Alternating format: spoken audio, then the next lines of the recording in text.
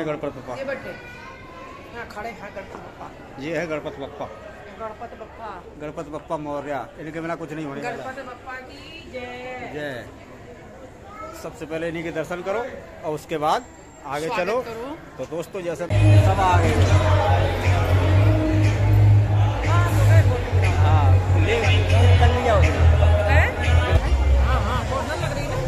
बोल कौन हाँ? कौन हाय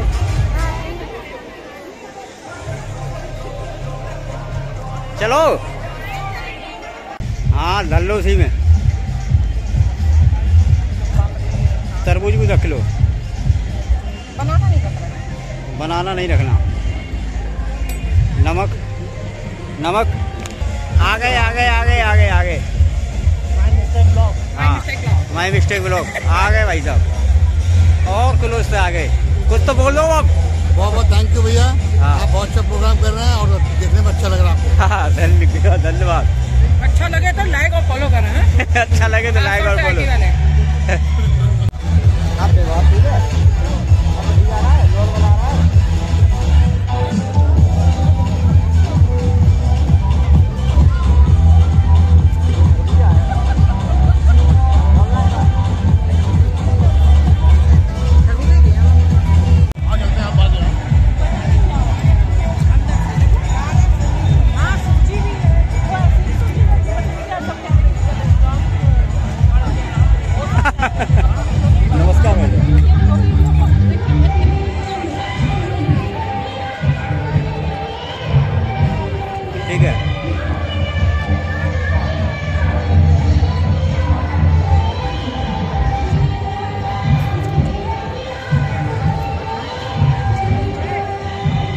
हाँ आ गया बच्चे आगे जाओ जाओ जाओ जाओ जाओ।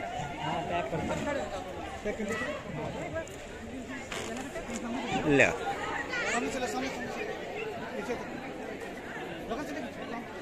आप भी आ जाओ। आप भी आ जाओ। कौन है? श्वेतांग कौन कौन है? वो बुआ है और बड़ी अच्छा। ठीक।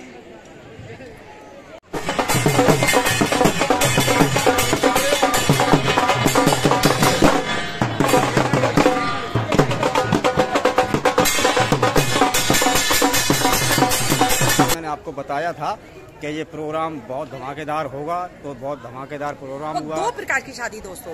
हाँ दो प्रकार की एक आसाम की बेटी थी और अपने आईटी का कानपुर आईआईटी का बेटा था। हाँ। दोनों को मिक्सर कर दिया।